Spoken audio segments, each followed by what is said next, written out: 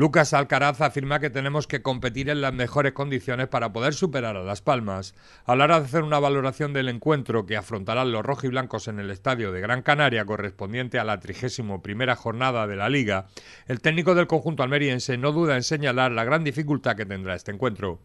No en vano valora de forma muy positiva la trayectoria de la Unión Deportiva Las Palmas en la competición y considera muy significativo el hecho de que haya ganado todos sus partidos en 2012 en casa y que actualmente lleva una racha de tres victorias consecutivas, algo que por otro lado no sorprendía a Lucas Alcaraz.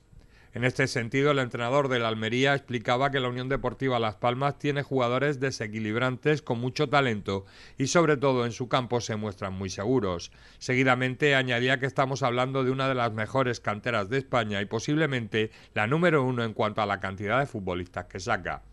Lucas Alcaraz también subrayaba que está haciendo goles en su estadio, por lo que con todos estos argumentos destacaba que tendremos que estar muy encima de ellos y hacer un buen partido para poder obtener un resultado positivo. Al mismo tiempo precisaba que aunque debamos tener en cuenta, como es lógico al rival, debemos pensar más en nosotros, en nuestro juego y en la forma de hacer daño al contrario. El técnico granadino valoraba el regreso de Carlos García, su jugador importante, una referencia en defensa, pero lamenta la baja por sanción de Soriano.